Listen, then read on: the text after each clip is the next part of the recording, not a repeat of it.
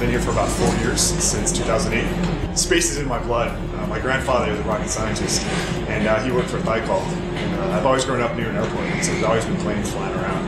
And so I can't remember a time where I wasn't building uh, Lego rockets or Lego spacecraft or uh, model airplanes.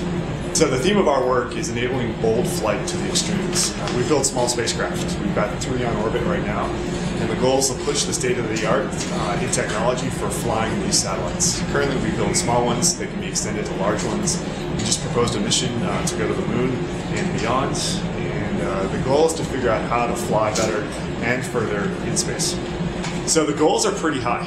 Uh, it's not just a homework problem. Uh, most of the questions that I ask, we don't have solutions for, so we have to figure it out. And students here have built three satellites, and all three are on orbits. Uh, right now, we've got three more that we're building. Uh, we're building one for the National Science Foundation. Uh, we built the NSF's first spacecraft uh, called RAX, the Radio Aurora Explorer, and uh, we're building another one called Cadre. And all these will be uh, observing space weather phenomena. We built a couple for NASA and uh, JPL. Uh, so the output of this work, uh, the output of the students' effort, is something that flies in space, and uh, that that takes a lot of work. That takes a lot of effort. Um, you can't really erase your mistakes once they're on the rocket. You can't go up and fix them.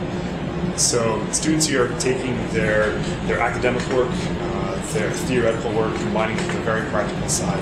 Uh, we've got aero students that are building uh, circuit boards for flight computers, uh, writing flight software, building attitude determination and control systems. Uh, so it's easy for them to be motivated.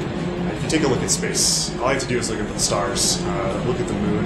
Uh, last night I was sitting on my porch watching the full moon rise on a perfect June uh, evening here in, uh, in Ann Arbor, and it's very easy to, to be to be motivated, uh, especially when your hardware ends up in space.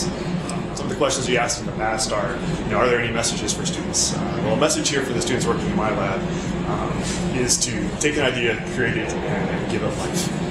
Uh, we've seen with the internet how students can change the world. Uh, Yahoo started it, uh, a small cubicle at Stanford.